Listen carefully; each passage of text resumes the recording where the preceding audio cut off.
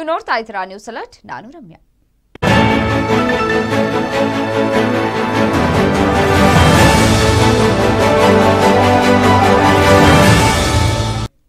ಮದ್ಯಪಾನ ಮಾಡಿ ಲೈಂಗಿಕ ಕ್ರಿಯೆಗೆ ಒತ್ತಾಯಿಸ್ತಾ ಇದ್ದಂತಹ ತನ್ನ ಸ್ನೇಹಿತನನ್ನ ಯುವಕನೋರ್ವ ಕೊಲೆ ಮಾಡಿದ್ದು ಆರೋಪಿಯನ್ನ ಬೆಂಗಳೂರಿನ ಹಲಸೂರು ಗೇಟ್ ಪೊಲೀಸರು ಬಂಧಿಸಿದ್ದಾರೆ. ಸದ್ಯ ಅಜಿತ್ ಅಲಿಯಾಸ್ ಚೋಟು ಕೊಲೆಯಾದವರಾಗಿದ್ದು, ಈತನ ಸ್ನೇಹಿತ ಬಳ್ಳಾರಿ ಜಿಲ್ಲೆಯ ಹೊಸಪೇಟೆ ಮೂಲದ ಚಂದ್ರಶೇಖರ್ ಕೊಲೆಗೈದ ಆರೋಪಿಯಾಗಿದ್ದಾನೆ. ಇನ್ನು ಅಜಿತ್ ಕೆಲ ವರ್ಷಗಳ ಹಿಂದೆ ನಗರಕ್ಕೆ ಬಂದು ಕೂಲಿ ಕೆಲಸವನ್ನ ಮಾಡಿಕೊಂಡು ಜೀವನವನ್ನ ಸಾಗಿಸ್ತಾ ಇದ್ದ ಈ ವೇಳೆ ಇಬ್ಬರಿಗೂ ಪರಿಚಯವಾಗಿತ್ತು. ಇಬ್ಬರು ಬಸ್ ನಿಲ್ದಾಣ ಹಾಗೂ ಇನ್ನಿತರ ಪ್ರದೇಶಗಳಲ್ಲಿ ಮಲಗ್ತಾ ಇದ್ರಂತೆ ಆದರೆ ಕಳೆದ ಶನಿವಾರ ರಾತ್ರಿ ಹನ್ನೊಂದು ಗಂಟೆಗೆ ಕಬ್ಬನ್ಪೇಟೆ ಮುಖ್ಯ ರಸ್ತೆಯ ಸೊಪ್ಪಿನ ಮಾರ್ಕೆಟ್ ಬಳಿ ಅಜಿತ್ ಕುಡಿದು ಚಂದ್ರಕುಮಾರ್ನನ್ನ ಲೈಂಗಿಕ ಕ್ರಿಯೆಗೆ ಒತ್ತಾಯಿಸಿದ್ದಾನೆ. ಈ ವೇಳೆ ಇಬ್ಬರ ನಡುವೆ ಜಗಳ ನಡೆದು ಚಂದ್ರಕುಮಾರ್ ಗುಂಡು ಕಲ್ಲನ್ನ ಅಜಿತ್ನ ತಲೆಯ ಮೇಲೆ ಹಾಕಿ ಕೊಲೆ ಮಾಡಿದ್ದಾರೆ. ಈ ಸಂಬಂಧ ಹಲಸೂರು ಗೇಟ್ ಪೊಲೀಸರು ಪ್ರಕರಣವನ್ನ ದಾಖಲಿಸಿಕೊಂಡು ಆರೋಪಿಯನ್ನ ಬಂಧಿಸಿದ್ದಾರೆ.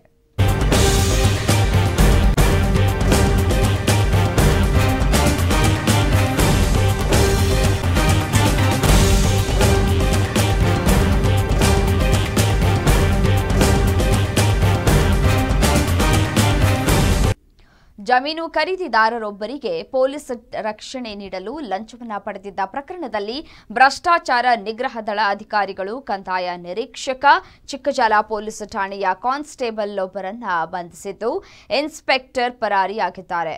ಅಂದ ಹಾಗೆ ಆರ್ಐ ಪುಟ್ಟ ಹನುಮಯ್ಯ ಕಾನ್ಸ್ಟೇಬಲ್ ರಾಜು ಬಂಧಿತರಾಗಿದ್ದು ಯಶವಂತ್ ಮೂರು ದಿನಗಳಿಂದ ನಾಪತ್ತೆಯಾದ ಇನ್ಸ್ಪೆಕ್ಟರ್ ಆಗಿದ್ದಾನೆ. ಇನ್ನು ಬೆಂಗಳೂರು, ಉತ್ತರ ತಾಲೂಕಿನ ಜಾಲ ಹೋಬಳಿಯಲ್ಲಿ ವ್ಯಕ್ತಿಯೊಬ್ಬರು ಎರಡ್ ಸಾವಿರದ ಹದಿನೆಂಟರಲ್ಲಿ ಐದು ಎಕರೆ ಜಮೀನನ್ನ ಖರೀದಿಸಿದ್ರು. ಆದರೆ ಅದೇ ಜಮೀನನ್ನ ಮೂಲ ಮಾಲೀಕರು ಬೇರೆಯವರಿಗೆ ಮಾರಲು ಮುಂದಾಗಿದ್ರು. ಈ ಕುರಿತು ಜಮೀನು ಖರೀದಿದಾರರು ಕೋರ್ಟ್ ಮೊರೆ ಹೋಗಿ ತಡೆಯಾಜ್ಞೆಯನ್ನ ತಂದಿದ್ರು. ಇದೇ ವೇಳೆ ಕೋರ್ಟ್ ತಡೆಯಾಜ್ಞೆ ನೀಡಿರುವ ಕುರಿತು ಜಮೀನಿನಲ್ಲಿ ಫಲಕವನ್ನ ಅಳವಡಿಸಬೇಕು.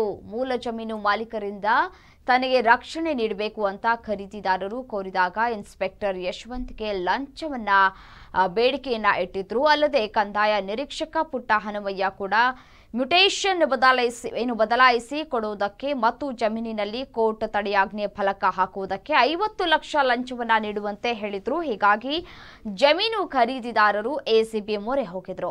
ಶುಕ್ರವಾರ ಹನುಮಯ್ಯಗೆ ಮೊದಲ ಕಂತಿನ ಆರು ಲಕ್ಷ ಹಣ ನೀಡುವಾಗ ಮತ್ತು ಇನ್ಸ್ಪೆಕ್ಟರ್ ಪರವಾಗಿ ಐದು ಲಕ್ಷ ಪಡೆಯುತ್ತಿದ್ದಂತಹ ಸಂದರ್ಭದಲ್ಲಿ ಕಾನ್ಸ್ಟೇಬಲ್ ರಾಜುಗೆ ಸಿಸಿಬಿ ಅಧಿಕಾರಿಗಳು ಶಾಕ್ ನೀಡಿದ್ದಾರೆ.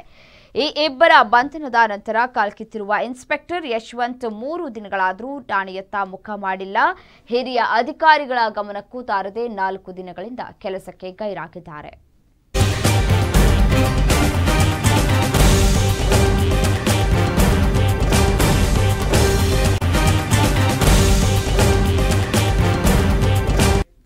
ಆರ್ಎಸ್ಎಸ್ ಬಿಜೆಪಿ ಮುಖಂಡರ ಹೆಸರು ಹೇಳಿಕೊಂಡು ವಂಚಿಸ್ತಾ ಇದ್ದಂತಹ ಆರೋಪದ ಮೇಲೆ ಅರೆಸ್ಟ್ ಆಗಿರುವಂತಹ ಯುವರಾಜ್ ಅಲಿಯಾಸ್ ಸ್ವಾಮಿಯನ್ನ ನ್ಯಾಯಾಂಗ ಬಂಧನಕ್ಕೆ ನೀಡಿ ಬೆಂಗಳೂರಿನ ಒಂದನೇ ಎಸಿಎಂಎಂ ಕೋರ್ಟ್ ಆದೇಶವನ್ನು ಹೊರಡಿಸಿದೆ. ಸದ್ಯ ನ್ಯಾಯಮೂರ್ತಿಗಳಿಗೆ ವಂಚನೆ ಆರೋಪದ ಹಿನ್ನೆಲೆ ಸಿಸಿಬಿ ಅಧಿಕಾರಿಗಳು ಕಸ್ಟಡಿಗೆ ಪಡೆದು ವಿಚಾರಣೆಯನ್ನ ನಡೆಸ್ತಾ ಇದ್ದಾರೆ. ಆದರೆ ಇಂದು ಕಸ್ಟಡಿ ಅಂತ್ಯವಾದ ಹಿನ್ನೆಲೆಯಲ್ಲಿ ಕೋರ್ಟ್ ಮುಂದೆ ಹಾಜರುಪಡಿಸಲಾಗಿತ್ತು. ಇನ್ನು ನಾಳೆ ತನಕ ನ್ಯಾಯಾಂಗ ಬಂಧನಕ್ಕೆ ನೀಡಲಾಗಿದೆ. ನಾಳೆ ಮತ್ತೊಂದು ಪ್ರಕರಣದ ವಿಚಾರಣೆಗಾಗಿ ಸಿಸಿಬಿ ಅಧಿಕಾರಿಗಳು ಮತ್ತೆ ಕಸ್ಟಡಿಗೆ ಪಡೆಯುವ ಸಾಧ್ಯತೆ ಇದೆ.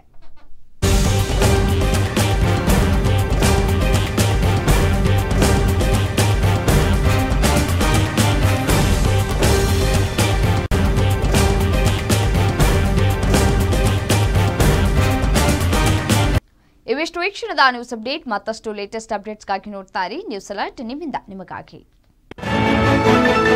thank you.